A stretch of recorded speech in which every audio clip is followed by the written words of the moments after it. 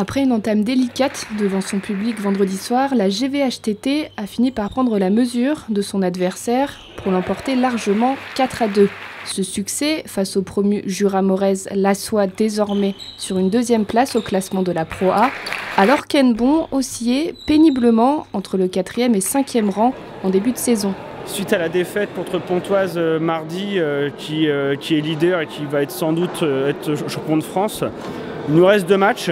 Euh, je pense que si on fait un sans faute sur les deux derniers matchs, euh, on devrait finir deuxième. Donc ça serait déjà une, belle performance pour nous. Avec 7 points de retard sur le leader, Nbon ne peut en effet rêver mieux que cette deuxième place. Pour y parvenir, il lui faudra compter sur son tchèque Prokopkov, principal acteur de la victoire contre les Francs-Comtois, et sur Quentin Robineau.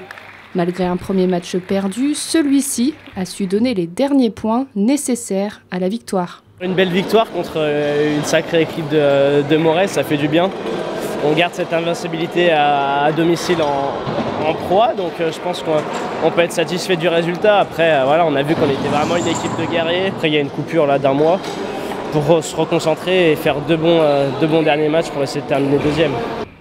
À deux matchs de la fin de saison, la préparation de l'année prochaine est déjà dans les esprits des dirigeants. Chen, son meneur le taïwanais, Prokopkov et Kreanga ont re-signé pour un an. Robineau devrait faire de même dans les jours prochains.